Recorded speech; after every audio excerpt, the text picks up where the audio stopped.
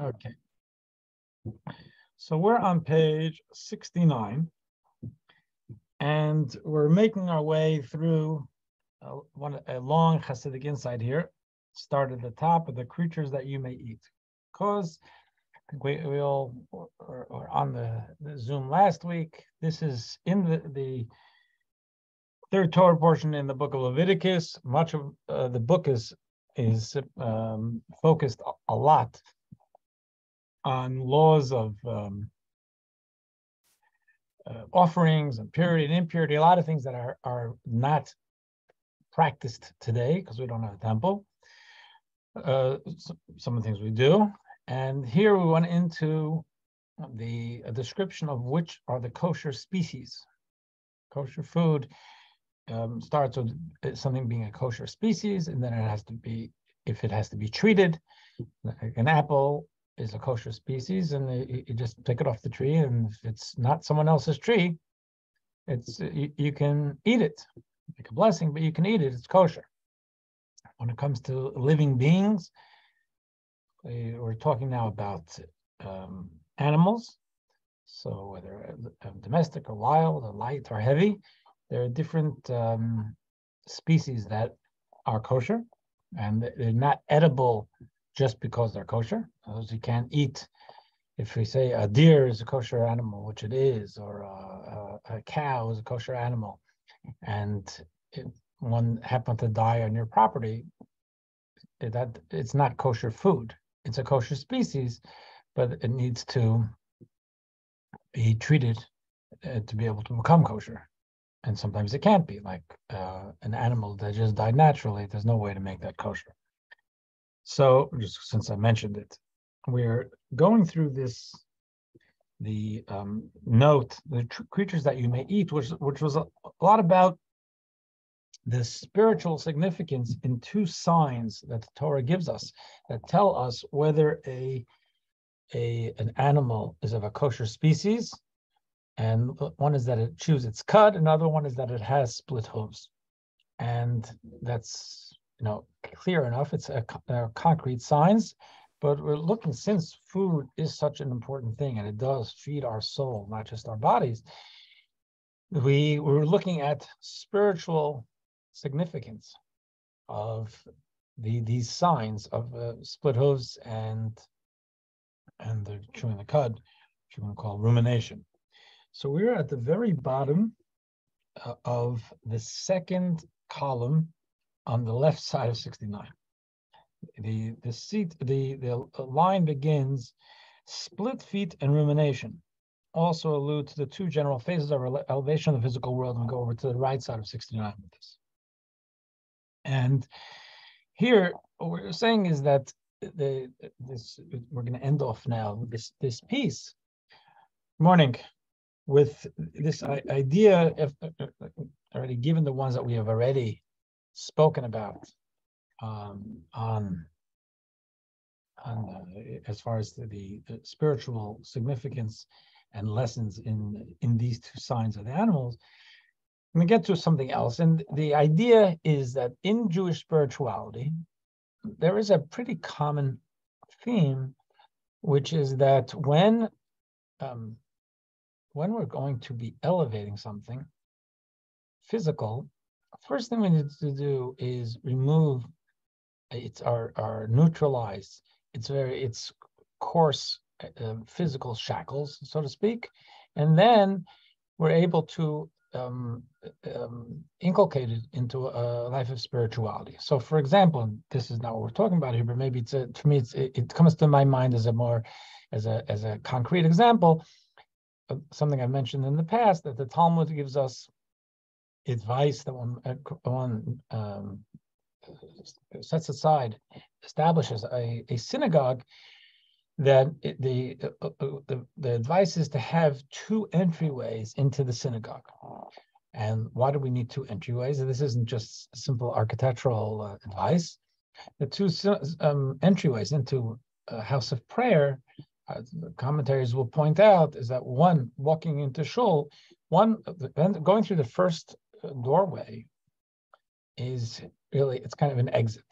It's an exit of our normal mindset. It's an exit of our, our very worldly perspective, which tends to be much more concrete, very self-oriented usually, or uh, possibly for sure, and it's it's much more um, it's it's cruder in that sense. So we uh, uh the things that are bothering us, the things that run through our minds during the day, we enter the first um, through the first doorway. We want to try and exit our normal way of thinking, uh, leave ourselves open to a more spiritual, visionary, godly way of thinking. And going through the next doorway is entering that world of prayer. But to enter that world of prayer, effectively, you first want to exit your other world. So in other words, we need both of these doorways. So um, if I, I had, if I was just eating uh, mixed nuts, so one thing is for me to eat them with not uh, uh, you know, not purely selfishly, and you know, I, I, make a blessing on them, and they they do belong to me. I did buy them, so it's not theft. And and to think that um, look, is this a good thing for me? Because I, God created me to be a human being, I have to have nutrition, I have to eat, and uh, and I have a, a job ahead of me, and to have a, a certain a, a good intent taking it out of just the concrete, it's mixed nuts. How you know how, uh, how spiritually you're going to get about it? Uh, the thing is, the food also it it can be a a a locus and an attraction for self indulgence, and to be able to look and say, you know, I'm hungry. I want to eat something that makes sense for me because I want to be healthy to be who God created me to be. So I'm going to have mixed nuts. That's one thing. So I'm taking it out in a way, if you want to frame it in the Kabbalistic term, you're taking it out of its more crude shell of this is something that's it's it's it's an object of of, uh, of uh, self-indulgence. I, I like nuts. Once I've I've done that and I've eaten it in a mature way, now what am I going to do with it? Now it's in my system. So I want to be able to use that energy to do good things. Because theoretically, I could have eaten um, breakfast in a, in a very mature, uh, spiritual, visionary way, and then just gone and done nothing with it. So I, I took the food out of its uh, husk of, of selfishness or, or, or very uh, coarser physicality. And now it's in my system, but the, what am I doing with the energy? So there's two steps here to really what we're going to call in Kabbalistic terms elevating these nuts. It's that I'm eating them properly. So I've taken it out of the, the, the coarse husk, so to speak. And then I'm going to use the energy to study Torah with people on Zoom uh, and hopefully do good things afterwards. So I've taken something uh, out of the purely physical and then really integrated the energy, the energy of those nuts into the, the spiritual, studying Torah. That's that's that's that's godly. That, those nuts, the energy from the nuts is now subsumed in the mitzvah. So those two steps are what uh, uh, we're going to be looking at right now. It says split feet and rumination also allude to the two general phases of elevation of the physical world. Because if you think about it, two. There's the split to two uh, sides of the hoof is one thing. There's there's uh, there's uh, the polarity there, and then there's the eating and then eating again. That's chewing the cud. That's rumination. So in other words, there's digesting, but then we, we have to come back at it and go the next step. The feet, as mentioned above, signify our primary active engagement in physical life, through which we elevate the material world out of its materiality by, by harnessing for holy purposes. And we did discuss this last week, that the my feet are where yeah, I wouldn't say the rubber hits the road, but where my my physical body interfaces with the, the material world. I live in a material world, but I'm not usually touching the materiality of it, except through my feet.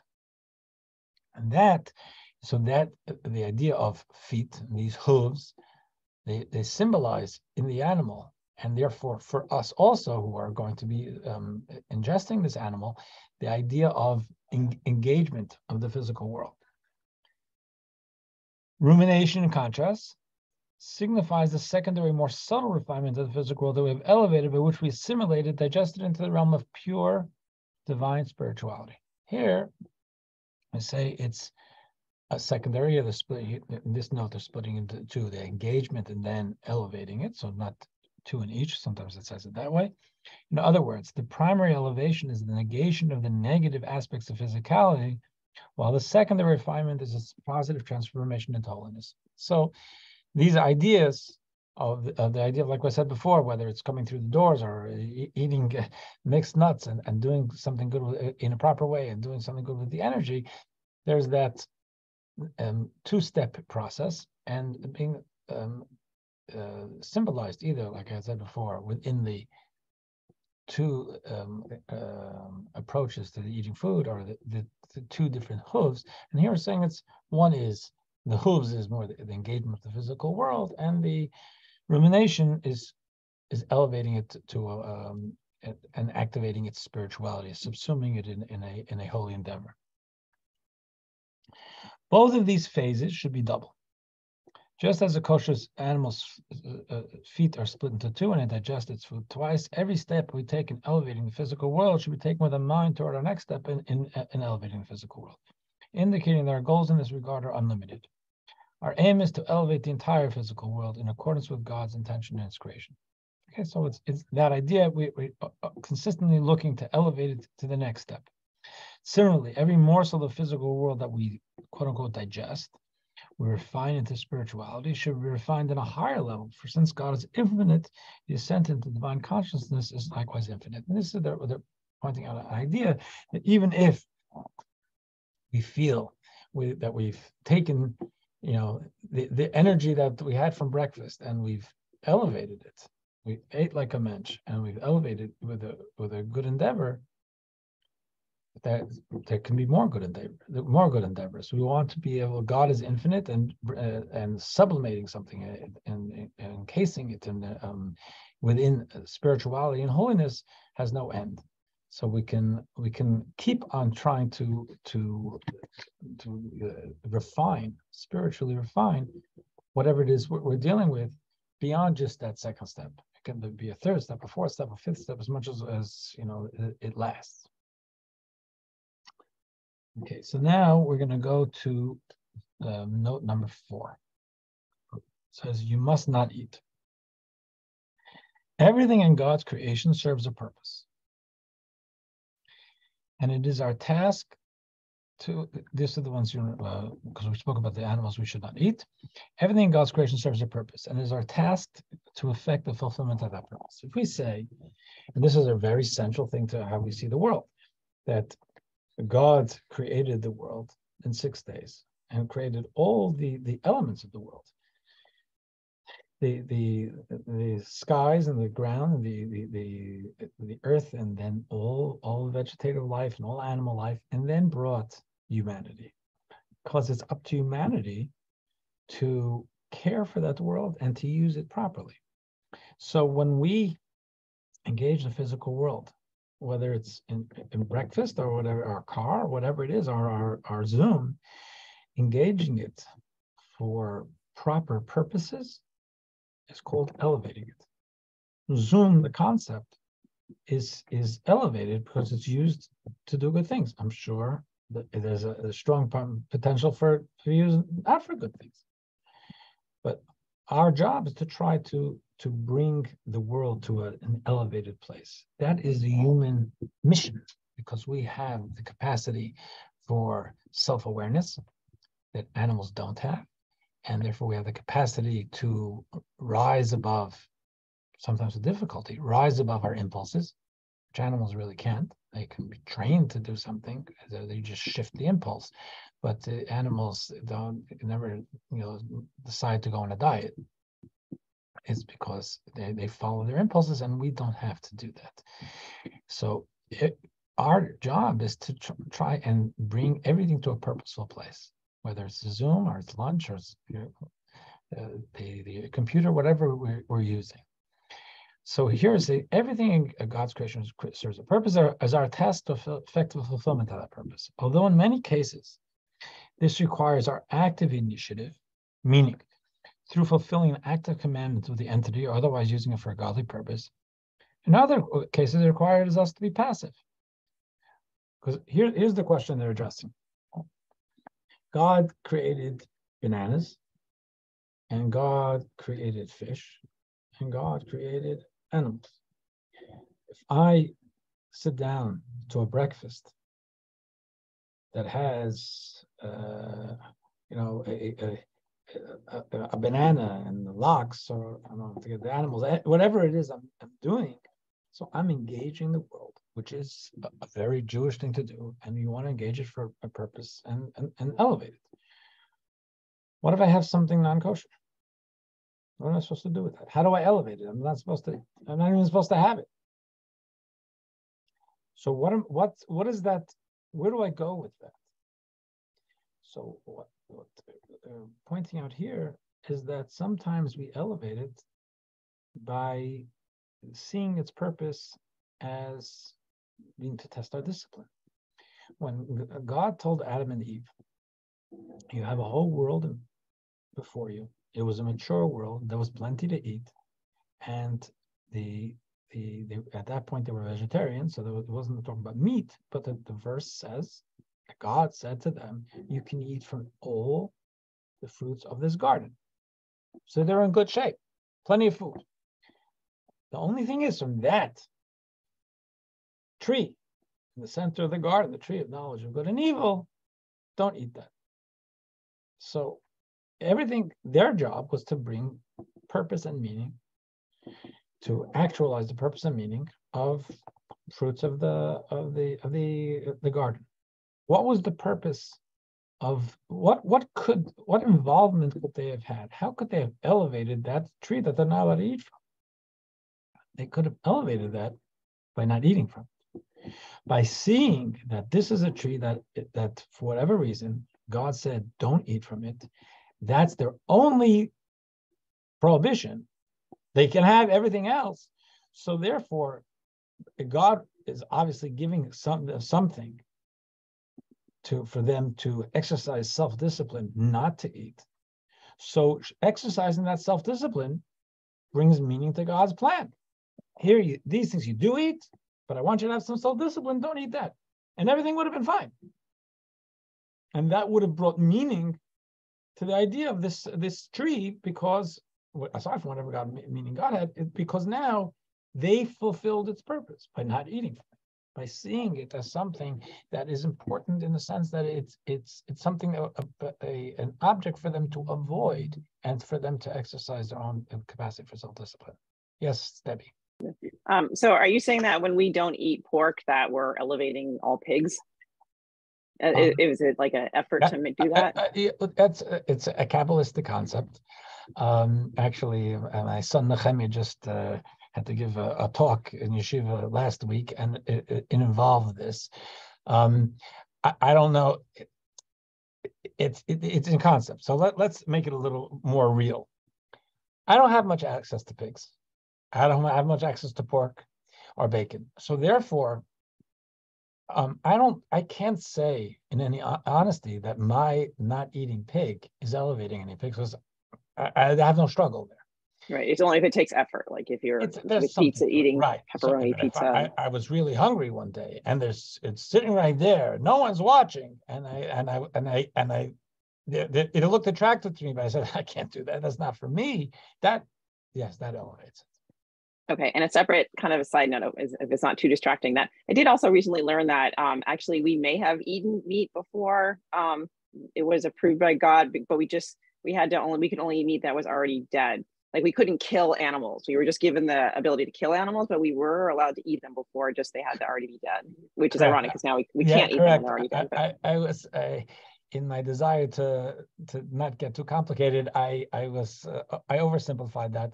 There is a debate. It it seems pre- put it this way: they're told to eat um, vegetative life, and then after the the flood, God says now you can eat meat.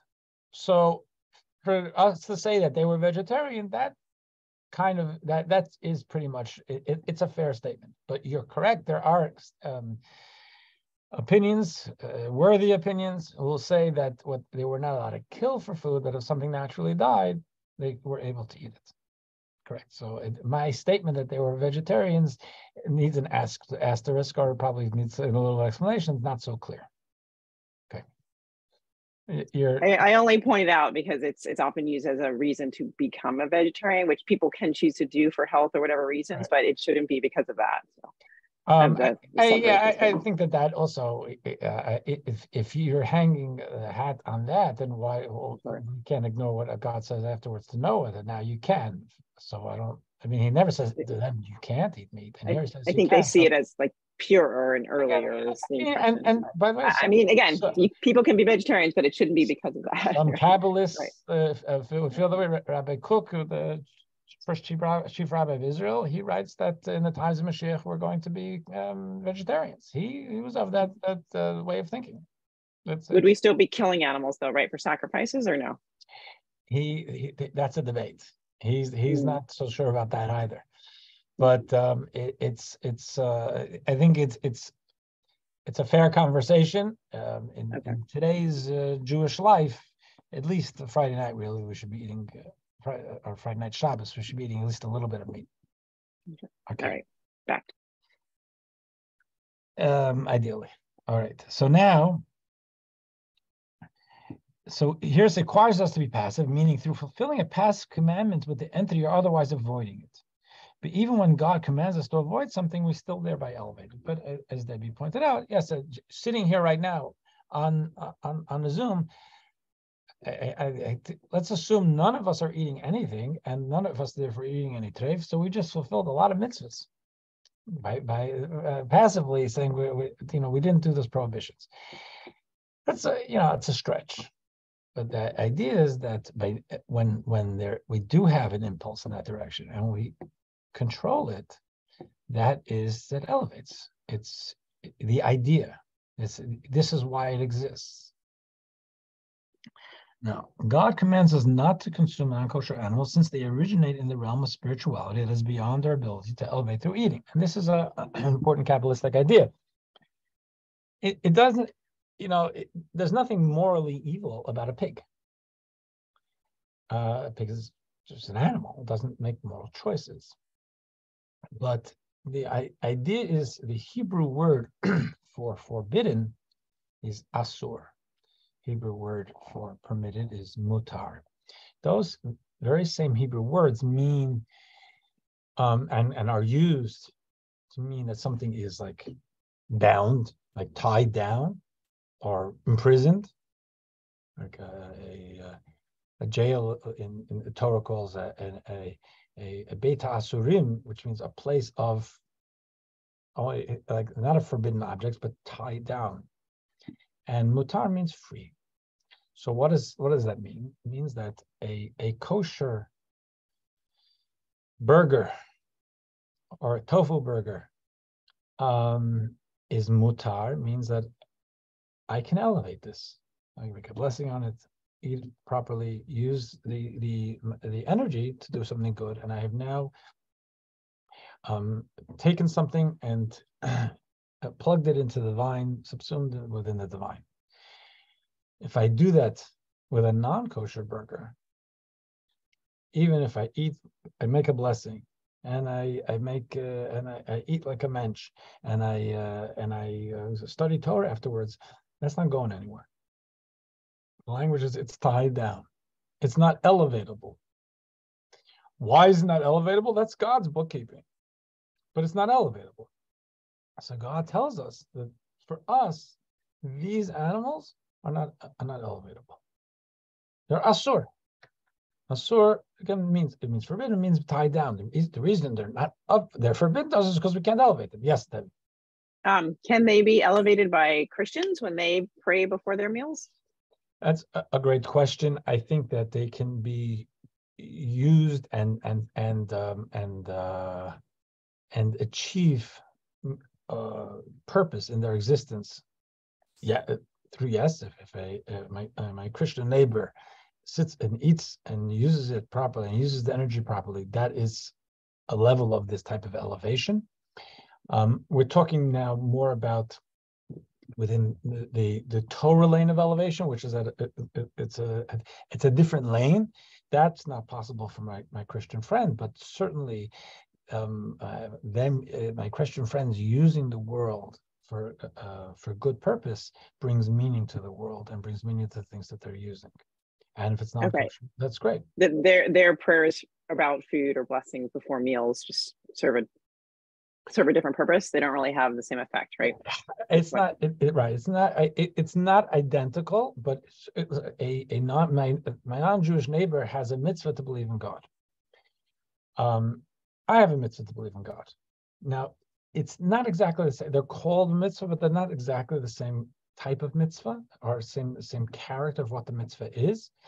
But they are um, they're all mitzvahs, and therefore, for, if my non-Jewish neighbor sits down to have bacon and eggs this morning, and says, "Thank you, God, for creating a world and allowing me to eat this bacon and eggs and eats eats uh, to not in a gluttonous way but eats in a responsible way and then goes and and helps you know uh, feed uh, in a soup kitchen certainly that it, not non-jewish neighbor is doing exactly what god wants him or her to do and is taking the world along with him or her to a, to a meaningful place um, uh, the the idea of the elevation of what we can do in plugging an animal into holiness through um, uh, eating uh, a kosher uh, cow or Friday night Shabbos or so on. It's it's it, it's bringing meaning at a different level. So I wouldn't I wouldn't put them all, all in, in the same basket, but generally speaking, it is the same concept. Yes it, we're getting more there into, I guess, some of the Kabbalistic uh, uh, bookkeeping. All right. So we elevate them, we say by by fulfilling God's commandments, abstain, uh, abstain from eating them. Good morning, Arella. Um, Lori, somewhere on 69 all the way to the right. Now he brings up something else. There's another way of, of bringing meaning to non-kosher creatures use them for a good purpose. I don't have to eat them, but I can use them. They can be part of my my farm. So it, these animals can be elevated directly and actively by by using them for purposes other than eating. For example, when a donkey or horse transports transports a person to perform a commandment, it too is infused with holiness. So if in in days when we would ride horses, and if if the horse, just like I say, you know, if you use your car today to travel to visit someone who needs who, needs a, a, smile and a hug or to go do a mitzvah somewhere or to help someone put up a mezuzah your your car is a vehicle really a vehicle for holiness. And it is part of that calculus of that equation and you're you're making your car your things part of that that that march toward a life uh, to a life of holiness and the car, even if it was a physical car, it has no moral uh, decision making, obviously. But the fact is, you, you're bringing your things along with you into this life of holiness. If I'm doing that with a, a horse, I, I'm riding horse. A horse is no less possible to to elevate than a, a car elevation through eating is a very is a special type of elevation because then it becomes part of, of, of you connects with your soul the energy is used differently. So that it's it's a higher le- level of elevation but riding the horse is also an elevation. So question here so birds of prey can be used by a jewish farmer to rid their farm of rodents. Absolutely. And and and i think that would, so that's a that's kosher usage so to speak. And certainly something where we we are engaging the world for a good purpose can't eat those birds of prey, but at, at least we can use them in a, in a, in a good way.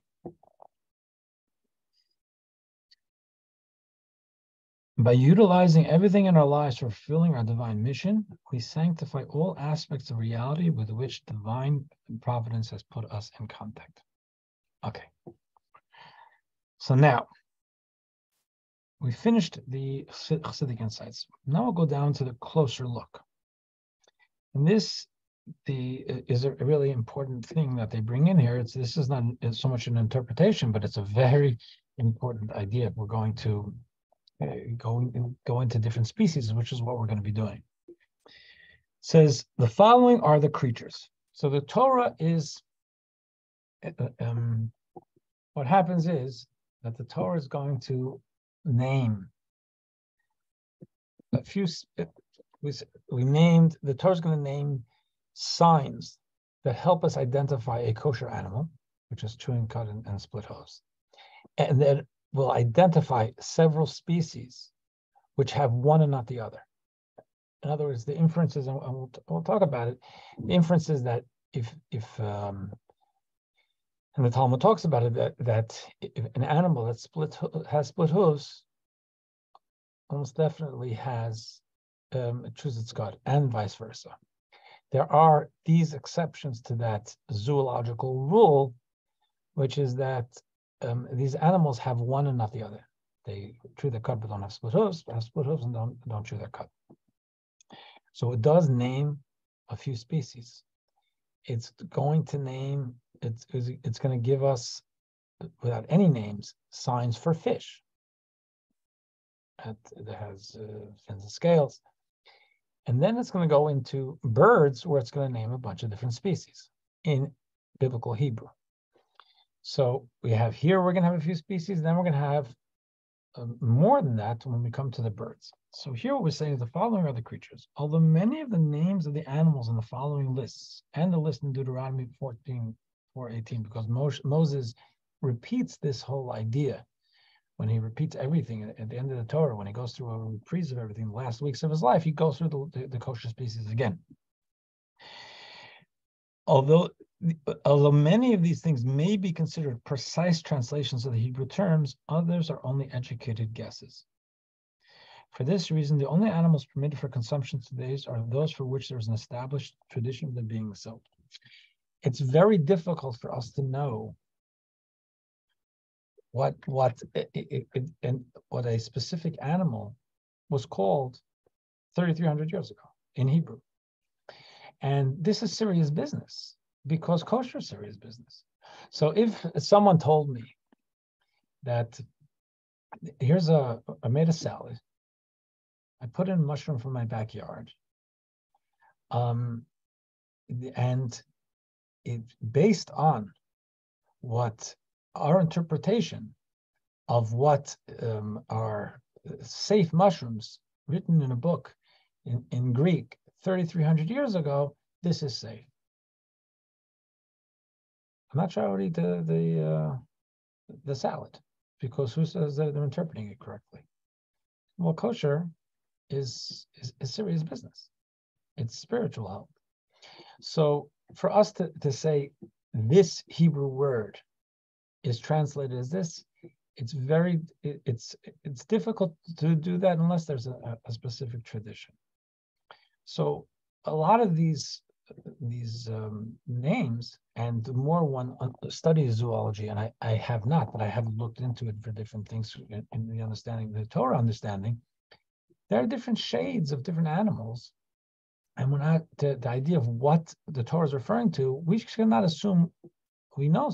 I have books, Jewish Torah books devoted to study of the animals by people who are fully engaged in zoology, because there are things, uh, even myself as a student, uh, I'll look and say, okay, this word means deer. I've been, I've studied that my, my whole life. A tzvi is a deer, and then I'll study something in the Talmud, and the way it describes the deer is not the way I see the deer.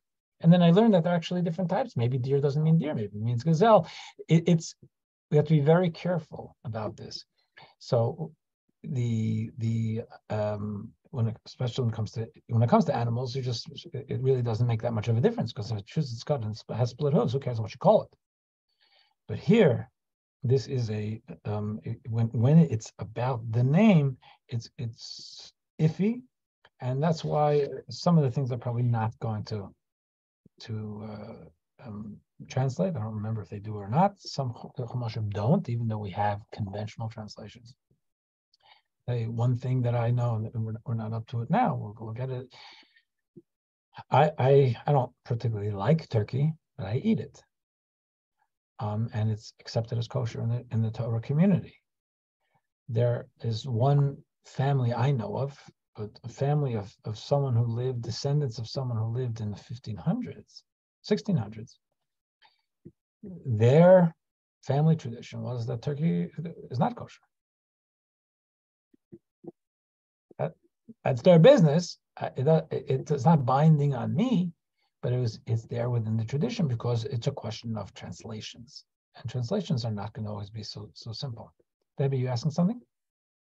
Um, yeah, I um, I understand what you're saying in terms of the definitions of. I've always heard it related to like birds and and sea animals, um, and I know in mammals we define species perhaps differently than was done in the past, but I always thought that the specific examples given of animals in the Torah that have one trait but not another were were like one of the proofs for those, you know, following that line of thought that the Torah was given by God, because how in the world could anybody have known that there were literally only these couple of animals that have one trait but not the other, and we've never found another one. That's So correct. were those specific ones at least ones Right. you're pretty sure about? So I, I'm with you on that, and I, I see that as very meaningful too. That to hear that the Torah pulls out these four examples of one that, uh, of animals that have one and not the other, um, and and I I actually I heard about something I think it was in Australia.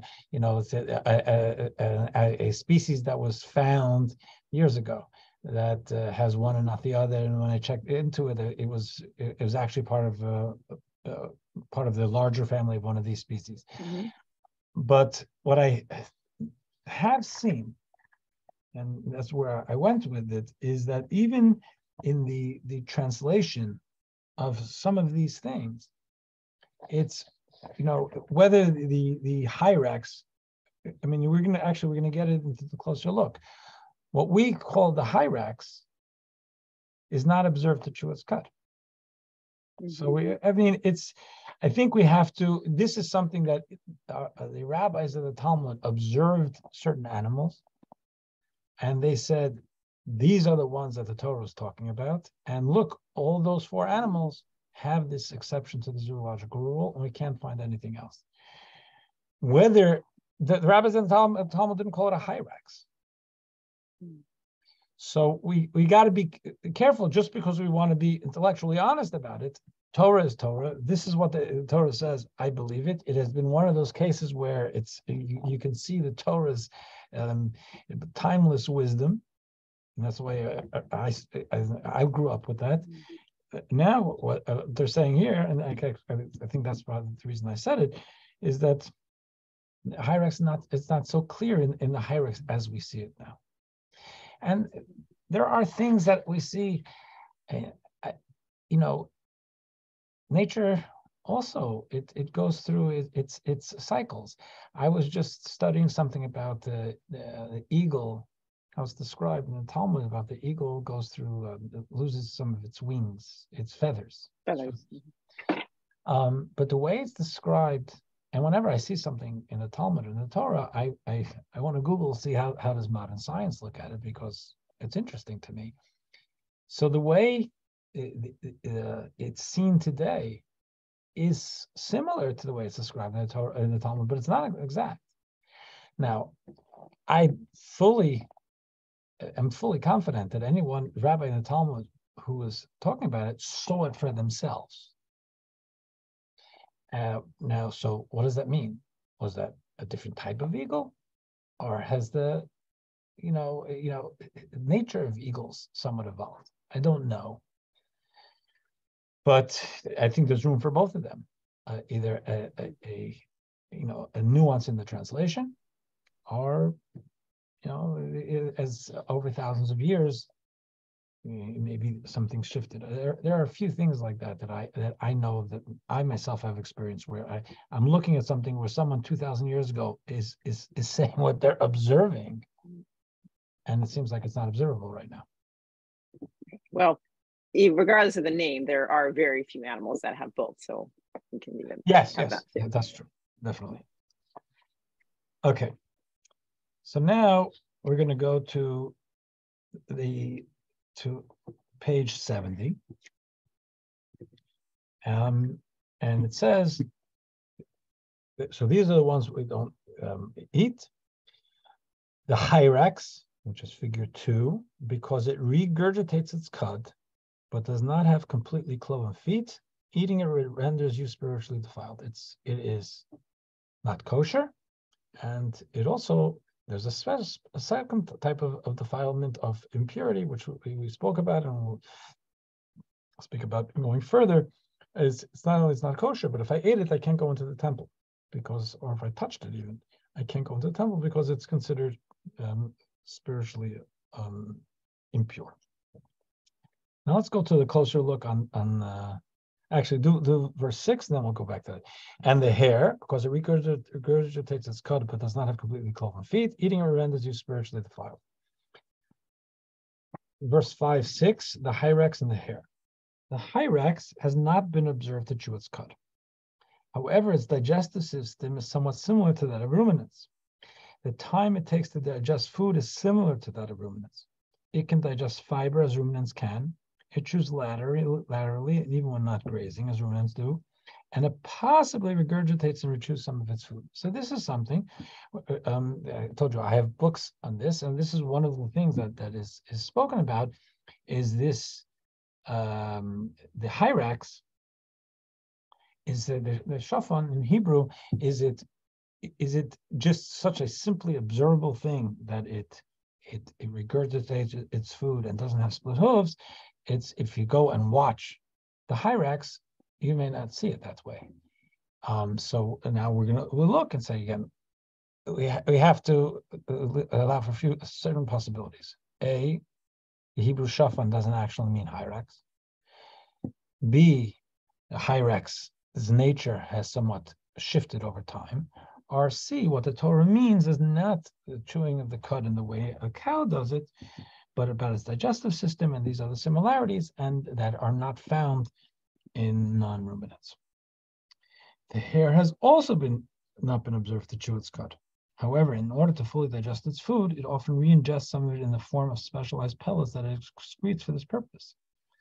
This process is called cecotrophy, and its chewing habits can also resemble those of ruminants. So this is in the question of the definition. Have, having watched a cow, which I, I can see and I know what it looks like to chew its cud, if I was going to look at a hyrax and a hare, if they stood still for me, I might expect to see the same thing. What we're saying is because Torah is addressing the real world, if indeed the shafan and the arnevet are the hyrax and the hare, we're not going to see it in that way, although we can see what they do, how they do act, and say it fits into the general um, rubric of ruminants, or or something has has shifted in them. These characteristics can be can be sufficient to include these animals in the Torah's description of chewing the cud. It is also possible that the Hebrew terms refer to animals that are no longer extant. We don't know. There's no, the Torah doesn't give us pictures. From the way the, the, the Shafan and the Arnevitz are, are described, not only here, the way they come up, people who, who know this stuff, and it's not me, they they decided, they defined Shafan as, as a hyrax and, and a, an as a hare. But we have to leave open the possibility to say actually meant something else. And the, the, the, zoological geniuses who are, who are trying to figure this out are only looking at, at, at species that exist today. So there was a different type of, of probably maybe of hyrax or hare. Okay. Now just the for for our uh, Jewish fun facts, um, the the Hebrew word for arnevet is hare. We, we do it there is an interesting if you all may have heard of the Septuagint. Septuagint is the, the first translation of the Torah into Greek, which King Ptolemy um, commissioned. And he, had, he put 70 sages, This it's, the Septu was, there were 70 sages, um, Torah sages who he put under guard in different rooms to translate for him um, because he was someone who was a, a, a learned person. He built huge libraries and he wanted the Torah translated into Greek so he could understand it. And he didn't want the Jews conspiring to, to hide anything from him. So he had them each do it and, and told them that if, if you, your uh, translation is different than everyone else's, you know, I, you can die for this. I don't want you hiding anything from me. So the Talmud says that they they all miraculously they all decided to make certain changes which they felt could be misperceived. And one of them is actually this Arnevet. Arnevet we translate as a hare. His wife's name was um, either, I guess it was hair or Nevid, but they, they could not, they did not want to translate Arnav, uh, as a, as a hare because that would mean that it had, that she's not kosher. And the, he would see that as putting her in a, in a bad light. So they all wrote the a short-legged creature. They all, all 70 of them, or 71, different, uh, 72, there are different uh, versions of how many uh, uh, rabbis it was, but they all came up with the same exact translation that it be that it was this they they translated this arnevet as a short-legged creature, not to um, uh, have a, bring any perceived offense to Tom uh, to King Ptolemy and his wife. Okay. In number seven, we say, and the pig, because it has cloven feet that are completely split but does not regurgitate its cud, eating it renders you spiritually defiled. So a, a pig, it's interesting that a pig, there's a lot of non-kosher, but the pig, I think to many people, it's the symbol of non-kosher. Even in Yiddish, it says chazer treif. It's not just treif, not kosher. It's chazer treif. Chazer is, is, the Hebrew word for, for pig. What about salamander treif? Or, eh, or cat treif? Oh, we can't eat cats. They're not, they're not kosher. The idea of pig, and people have told me I don't, I don't keep kosher, but I don't, I don't eat pork products. Okay, it's it, they're not kosher. It's good not to eat pork, pork products. It, it's there. There's a special sensitivity to it. Um, where does that come from? I don't know if anyone is sure. Just on on you know, at one level, we say that was a, it seems that that was a, a symbol that used by the Roman legions. Maybe that's why I became very sensitized to it. The Talmud also not answering the question of why we're so sensitive to it, but also pulls out the one of the things about the the pig that the pig has its feet are cloven. So the language of the Talmud is this. So here you have something, it's a symbol of a, a non-kosher entity who puts out its paws and says, no, look, I'm kosher. Because that's what's readily visible and, and the, the, the rumination is not. So it became a symbol for religious hypocrisy, where uh, I'll show you, look at my paws, I'm kosher, because it does have split hooves, but it's not, it's not a kosher animal.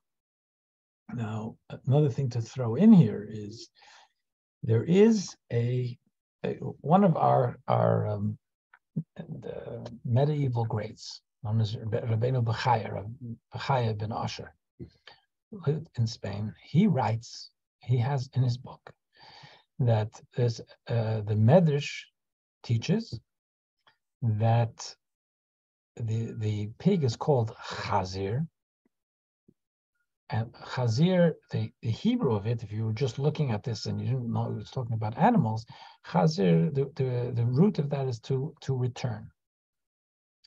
Like uh, a, a person who who has become observant uh, was not did not grow up observant became observant in hebrew is called a choser b'teshuva returned to god uh, in, in, in, connection to god. We call it a baal teshuva so it, chazir means to return. So Rabbeinu Bechaya writes that the Medrash says that in the times of Mashiach, this will return to being kosher the, the, the pig, which is an interesting thing. First of all, that pig will be kosher in times of Mashiach. Second of all, it's returned to being kosher as though it, it once was. It's a a um, a very a a, a an eye a uh, an eyebrow raising medrash We don't have it. We don't find that in any of our medrash. Rabbeinu Bechaya is a, a, very, very worthy source. And if he saw it in a medrash, it must have been an edition he saw. But we, in our editions of the medrash, it does not appear. So he's quoted, and the idea is quoted, but it's oh, always with an asterisk we have no idea where, what what this medrash says because we don't have the medrash. But because he's a person of such stature, it's not just dismissed as you know uh, folklore or urban myth or a mistake. Because if Rabbeinu Bechaya's wrote it, he had something to base it on. We're just not seeing what it was. It does it does give us. I remember someone uh, was doing a, a, a Jewish boy was doing a his PhD on pigs, and he he came to interview a local boy, and he came to interview me about it because you know how do you write about pigs without talking about kosher?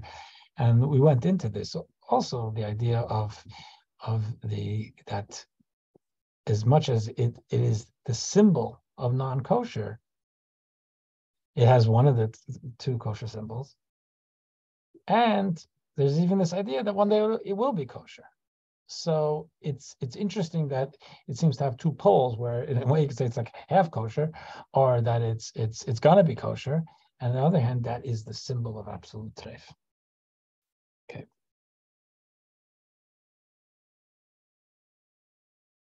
So now let's just go a little further. You must not eat them because they exhibit only one of the two signs of permitted animals. Similarly, you must not eat other animals that exhibit only one of the two signs, and certainly not animals that exhi exhibit neither of the two signs. Here they say certainly. Nonetheless, you transgress the prohibition against eating such animals only by eating their flesh. Not of their bones, sinews, horns, or hooves. If you eat these, you transgress only the act of commandment to eat, only eat um, permitted animals. So eating something that's not edible is not a is technically not eating treif. Actually, someone here once asked me about a certain type of uh, yogurt or jello, actually, and I it, that it seemed to have animal products in it and had a, a hechsher, so kosher. So I called the, the supervising agency. It was in upstate New York, and they they said that it's because it's really just ground um, sinews uh, and, and, things that are not edible. Um, I'm not, you know, I, I wouldn't have gone with that as a, as a, something to eat, but they were basing it on this. Okay. In contrast to eating these animals, which renders you spiritually defiled, touching or carrying the carcass of these, animals renders you ritually defiled, as was be seen presently. So there's a thing of eating, person eating, they shouldn't eating a, a, a, pig, which is it's eating treif, and that's a spiritual problem, toxicity for my soul. But then there's something else. The fact that I touched it or ate it means that I have a certain a spiritual imbalance or ritual imbalance, which means I can't uh, eat of, of sacred things, not because it's treif, because it was from, from this animal, and therefore I can't um, I, I, can't go into the temple or whatever it may be. So they're distinguishing between spiritual defilement, in other words, the ingesting of what it does for my soul, the spirituality, or the ritual end. Contracting ritual defilement requires you to ritually purify yourself before entering the tabernacle precincts or eating consecrated food. When a person has ritual defilement, they didn't do anything wrong. Eating a pig is I, I violated a, a, commandment of the Torah. Touching the pig isn't violating anything. It just throws me off, off from my ritual needs. So it, there, contracting ritual defilements requires you to ritually prepare yourself before entering the tabernacle precincts or eating consecrated food. You have to wait to go to the mikveh. Although you're not allowed to spiritually devour yourselves by eating these animals, although we are prohibited from eating, let's use the pig as an example, you are allowed to ritually defile yourself by touching or carrying their carcasses as long as you understand the ramifications of doing so. I can touch a pig. And especially today, I'm not going into any temple. I, I haven't violated anything Torah by touching a pig, petting a pig. But Uh, eating a pig, obviously, then that's eating pork products, which totally can't. The only time we would be careful about not touching these things, the only exception to this is the pilgrim festivals, because people would come to Jerusalem and they would conceivably come to the temple and bring offerings, during which you must not touch their carcasses because doing so re- renders you ritually defiled. Now, and if you happen to have been ritually defiled before the festival, or you happen to become ritually defiled during the festival, you must purify yourself in honor of the festival. So, really, the easy way to describe this, explain this, is, is it's about going to the temple. But in truth, it's not only about that. Before uh, any Yom Tov, we want to be in a, in a holy state. It is common to, I mean, it's maybe not total, it's not uncommon for people to go to the mikveh before a, a holiday. Because uh, just like you're going to put on and put out good food and put on a, a, a, nice set of clothes, you want to be in a, in a good spiritual place to go to the mikveh. So doing this, um, handling non-kosher animals during or immediately before the festival is not considered uh, advisable. Or as you've been taught, you must celebrate the pilgrim festivals by wearing fine clothes and eating and drinking special foods. And you can only consecrate these days through such mundane acts if you do so in a state of ritual purity. These obligations apply whether or not you plan on actually, actually plan on entering the tabernacle precincts, even when the tabernacle is not standing. So these are things that the Torah is talking to us about, talks to us about not ingesting, but it actually also goes to the idea of not touching and not not um, coming to a place of this lack of purification. Um, this weekend, this coming weekend, is the International Conference of Chabad rabbis. Few, 4,000 people coming in. I don't know how many. Um, I will be for Shabbos, but and I, and I hope to give our class on Sunday. But Tuesday morning, this time, I have to be in Brooklyn for uh, meetings connected to the, the conference, so I won't be able to um, be meet with us um, next Tuesday, but we should be fine, God willing, the following Tuesday. And I apologize for not being around this coming Tuesday. thanks for the warning. So, yeah, okay. So we won't be as disappointed, but yes, I hope the conference was great. Yeah, God willing, yeah, it's always good.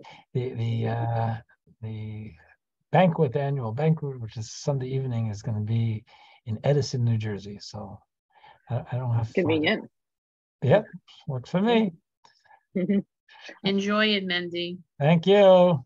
You're welcome. You will. Have a great week. You will. Thank you. Bye-bye.